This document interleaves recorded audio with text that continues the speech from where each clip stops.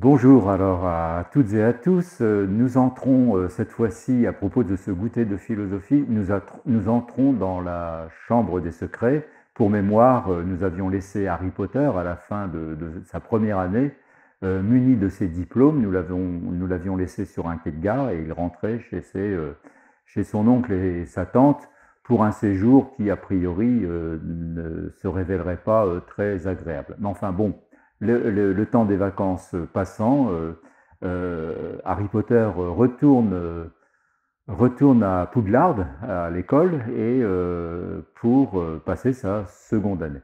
Et il est averti, avant, même de, avant même de partir, il est averti qu'il y a un complot qui se joue là-bas à Poudlard, et l'elfe Dobby, je crois, euh, lui conseille de, ne pas y aller. Mais au contraire, ça, doit exciter la curiosité de, Harry Potter et il se rend à Poudlard après différentes péripéties.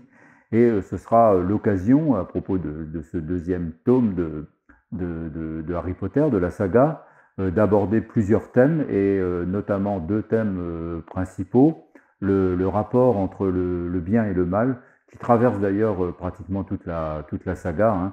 Euh, mais ici euh, assez euh, mis en évidence par, par le, comportement, l'attitude des, des, individus. Donc le bien et le mal. Et en développant ce thème-là, nous, avons abordé la philosophie d'Emmanuel Kant, qui lui posait un principe absolu, un impératif catégorique, disait-il, qui, qui s'énonçait de la manière suivante ne dois pas mentir, quelles que soient les situations. Et euh, cette idée-là, elle est venue grâce à une intervention d'une des, participantes, euh, Elisa, euh, à propos de ben, on, ne doit, on ne doit jamais tuer, quelles que soient les circonstances. Donc ça a soulevé effectivement un, un, débat dans, le, dans le groupe. Et l'autre point important, ou en tous les cas qui a fait l'objet d'une réflexion, c'est euh, la, question de la...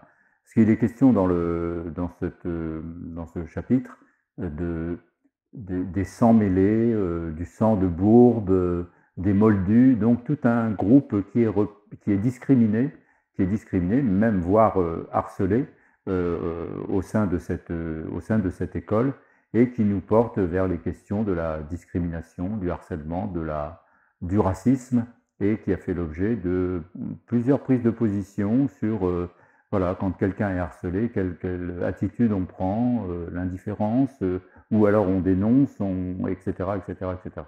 Donc deux points qui étaient particulièrement, particulièrement riches du point de vue, d'un point de vue philosophique, et qui prouvent bien que nous sommes dans un goûter de philosophie.